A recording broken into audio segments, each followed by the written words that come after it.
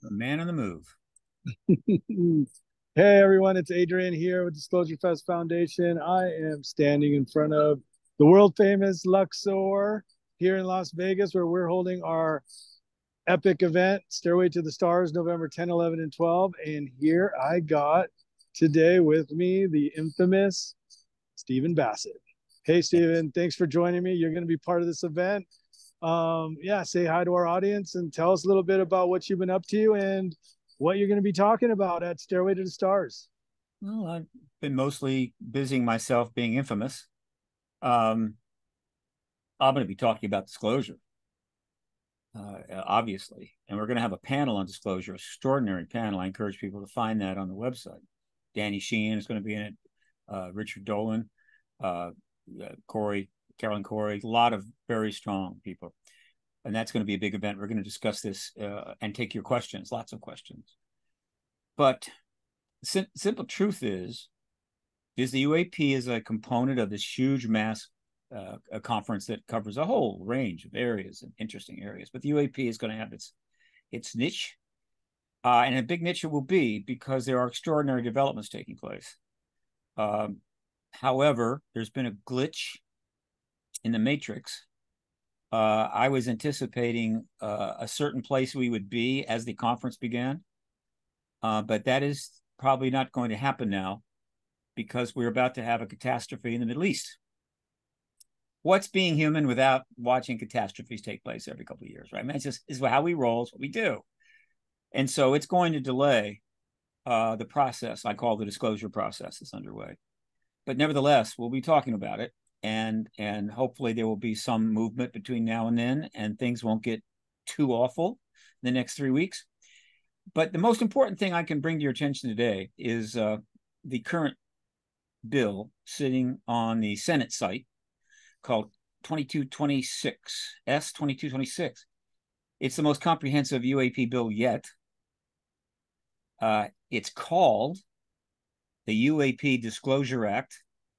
Thank you I'll be happy to take a little credit for that. They didn't have to call it that. They could have called it any number of things, but they called it the UAP Disclosure Act, and that was their way of saying, "We understand. We got you. We got you back. It's okay. We've been hearing you." So, and then the act itself, which is the section of the huge NDAA bill for 2024, is I I, I converted it to a single space PDF document so I could highlight it, and it's up on the web. You can find it. Search on uh, uh, SS twenty six. I mean twenty two twenty six.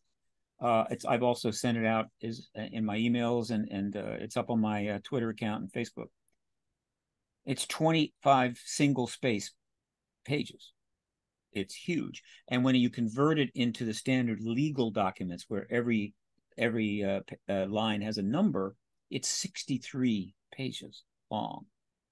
It is the fourth uh, tranche of legislation. If it passes uh, in toto, which I think it will in in December, it is the last piece of the infrastructure. These four pieces of legislation, three already passed and, and operating since 20 late uh, December 2020, and the one that's about to be passed have achieved everything they needed to do. It set up all of the infrastructure, the legal basis, the basis for transferring information out of the deep underground and, and secret facilities to the archives with, with due diligence and appropriate process, maintaining classification when necessary. It's setting up a nine person review committee at the White House. It, we already have set up a, a research group at the uh, at NASA. We have, of course, an entity called the uh, uh, uh, unidentified anomalous do, um, uh, domain resolution office um, and other structures. All of these things now, as of this bill, will be in place. They have everything that they needed to have. For what? Well, it's not so that they can now go out and find out what the phenomena is. They already know. They've known for decades, my friends. They've known since the 1940s. Hmm.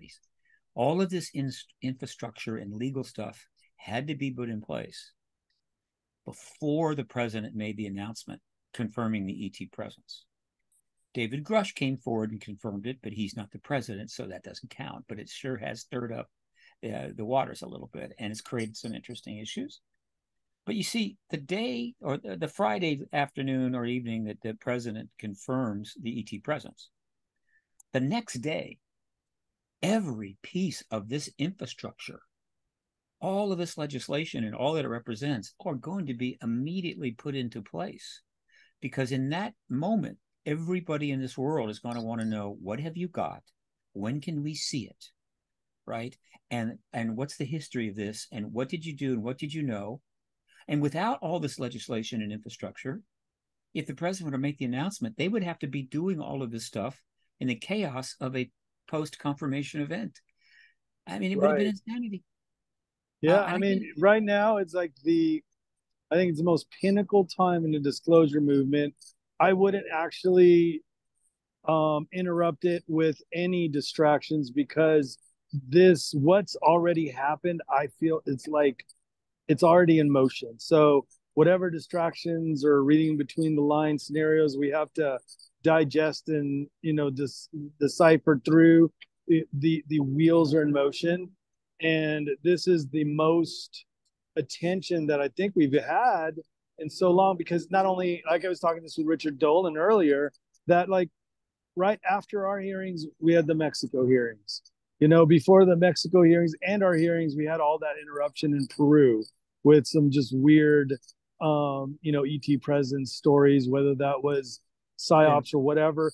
But it's just so much happening, and the actual UFO sightings, UAP sightings, mm-hmm. in the last you know six months have been, I don't know, it's been pretty record breaking.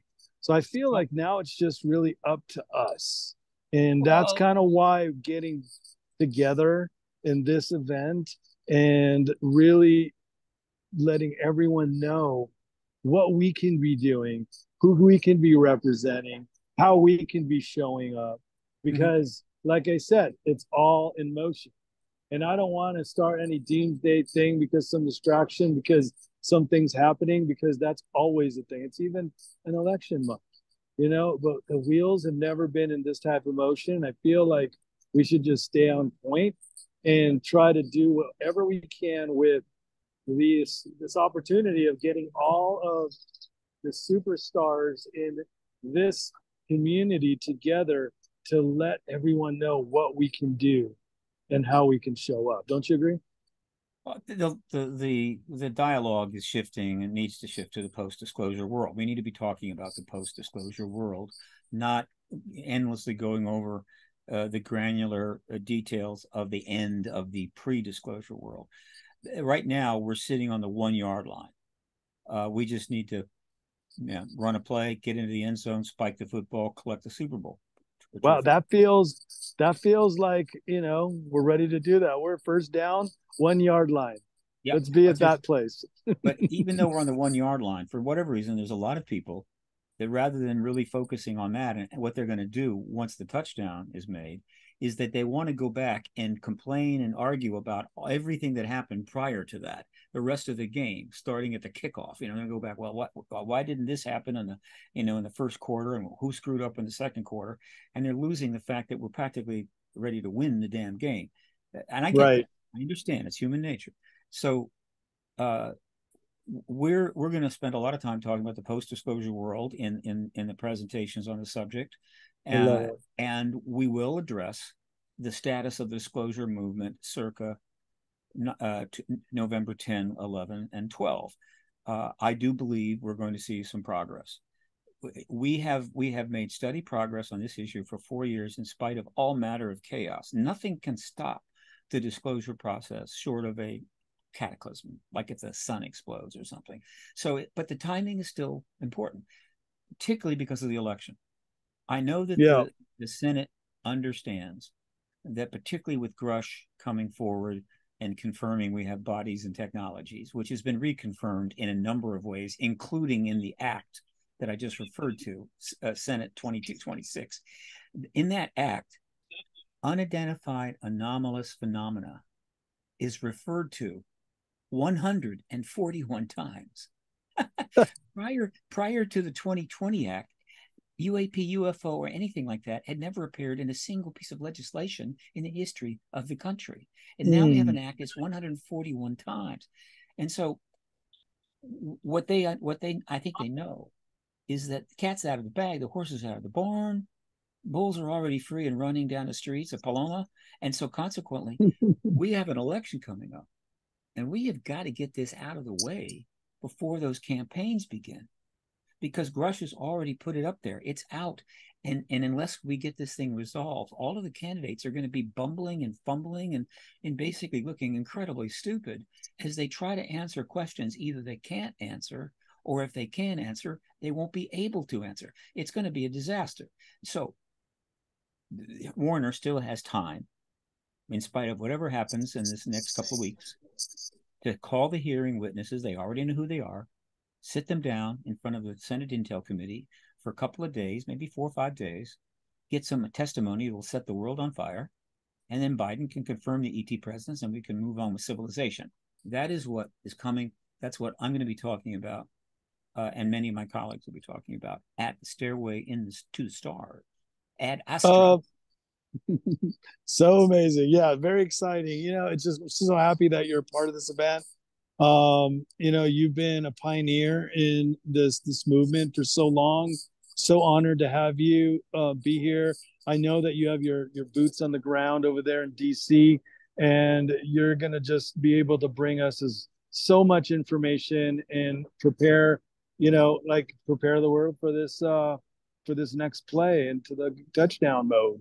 So, did you know Disclosure Fest and Fade to Black? We put together such an amazing event with this amazing building and hotel behind me.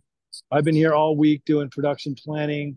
There's so much in store for you with three full days, nine conference rooms, uh, a, a nightclub, a private, you know, chartered bus excursion to Area 51 for um, an intimate 200 person sky watch. Um, you might, I think you might be joining us on that. I know Jimmy's gonna come back from Egypt and and pick you know three other speakers to be the speakers in those buses because there's four oh, buses.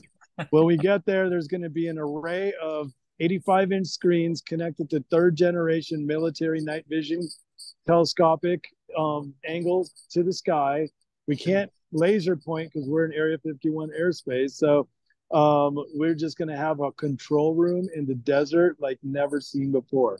So don't miss the Area 51 and well, obviously it's November, so it's also meteor shower month. So alleged meteor showers, um, but we'll call them whatever we call them. Um, anyways, uh, yeah, be here November 10, 11, and 12. Get your rooms because um, our our our room block expires October 15th at midnight.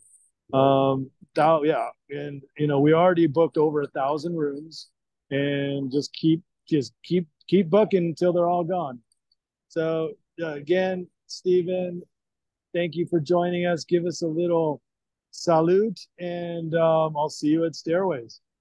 Well, first of all, I, I, did. I hope you cleared all that Area 51 stuff you're setting up with the Air Force. Uh, I hope you got some uh, some approval on that or whatever. Uh, look, hey, Ad Astra, folks, uh, a new world is coming.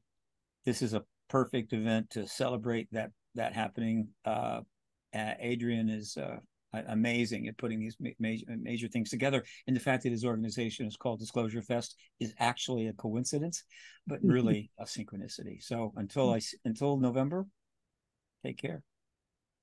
And we'll see you on the Stairway to the Stars.